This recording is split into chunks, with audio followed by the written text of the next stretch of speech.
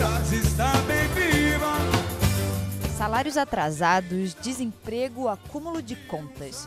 O empreendedorismo é um dos sintomas mais fortes de um Brasil que tenta sair da crise.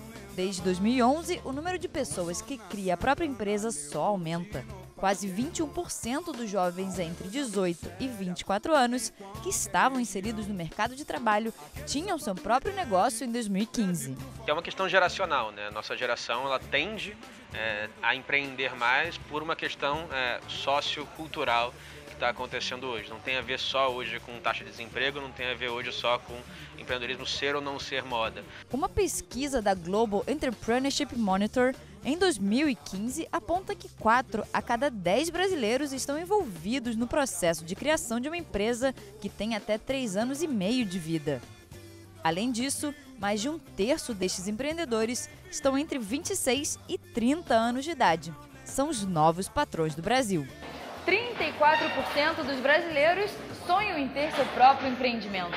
Esse é o caso do Fábio, que largou a vida de funcionário e abriu um negócio cheio de amor. O bolo do amor era uma receita nossa de família, da minha família, e quando eu tive uma ideia de criar um negócio próprio, eu pensei, nossa, esse bolo que faz tanto sucesso entre os meus amigos, minha família gosta tanto, acho que ele vai poder vender bem. Minha vida mudou muito. Eu sou formado em Direito e eu exerci advocacia durante alguns anos, trabalhei em empresas e escritórios, e eu me programei, ah não, eu preciso um dia passar a assumir o negócio full time para ele conseguir decolar e dar mais certo. Quando você perde seu emprego, você tem duas coisas que você sabe fazer na sua vida. Né? Você tem o seu ofício e você tem o seu hobby.